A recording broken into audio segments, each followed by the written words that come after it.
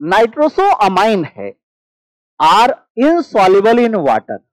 on heating with concentrated sulfuric acid they give secondary amine the reaction is called as इस reaction को हम क्या बोलते हैं?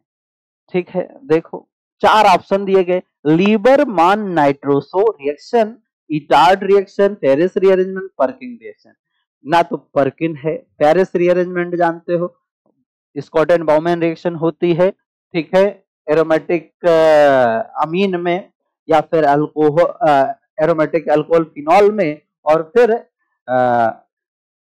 एयर एनहाइड्रस थ्री के प्रेजेंस में हीट कर दें एसाइलेटेड प्रोडक्ट को तो रीअरेंजमेंट हो जाता है। That is called as Fries rearrangement ठीक है? इटार्ड रिएक्शन भी नहीं।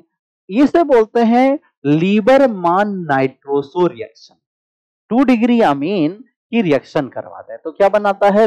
इस इस रिएक्शन को नाम देते हैं लीबर मान नाइट्रोसो रिएक्शन ठीक है? One degree two degree one degree क्या बनाएगा? अमोन वन डिग्री अगर एरोमेटिक रहा तो डाइजोनियम सॉल्ट बनाएगा।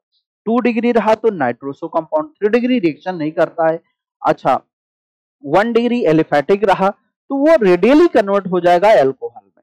अच्छा और टू डिग्री रहा तो नाइट्रोसो प्रोडक्ट बना देता है। जो ये बना है that is called as Liebermann nitroso reaction Got it?